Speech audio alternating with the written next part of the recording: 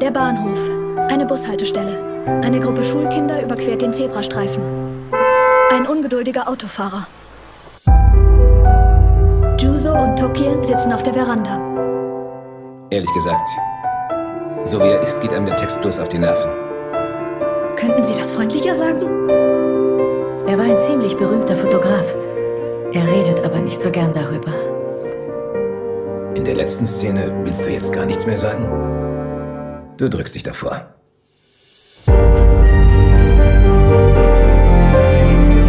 Hör auf damit. Sie ist mein Herz. Auch wenn sie für mich nutzlos geworden ist. Sie ist mein Herz.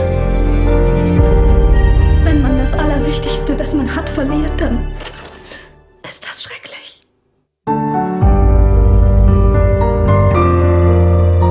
Kann ich für die letzte Szene vielleicht noch ein bisschen mehr Zeit haben? meines Herzens. Das habe ich manchmal gehört.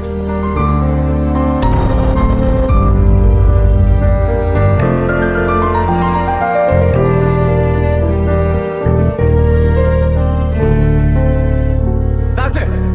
Ich komme zu dir! Also warte einfach dort.